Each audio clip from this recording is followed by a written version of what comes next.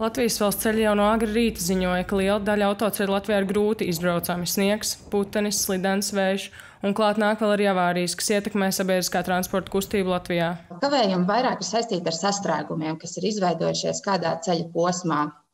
Bija arī situācija, kad autobuss braucot virzienā no Rīgas uz Olaini iekļuva ceļa satiksmes negadījumā, taču Otrs iesaistītais transporta līdzeklis aizbrauca no notikuma vietas. Līdz ar to aptuveni divas stundas bija jāgaida policija. Brīvdienās avārijās cieta daudz transporta līdzekļu. Tika ziņots par futbola kluba RFS Rīga autobusu avarēšanu, arī Latvijas televīzijas būs cieta. Avārijas situācijā nonāca arī sabiedriskais transports. Tāpat šodien bija gadījums, kad autobusam uzkrita virsū koks.